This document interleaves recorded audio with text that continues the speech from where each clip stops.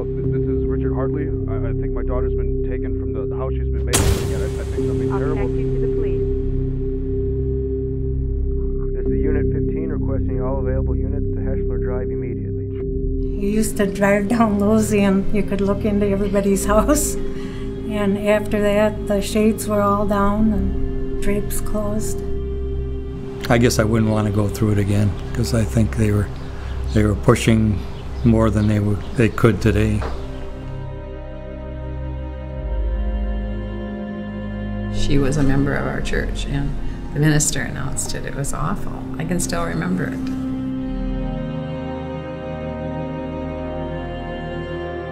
We walked, oh, maybe arm lengths apart and were to tell them about anything we saw that was unusual. She could have been our daughter. She could have been our sister. She could have been our granddaughter. She could have been our friend.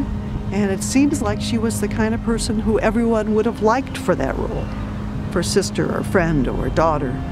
I mean, she sounds like she was doing everything right and that she was a caring, fun person, and it happened to her.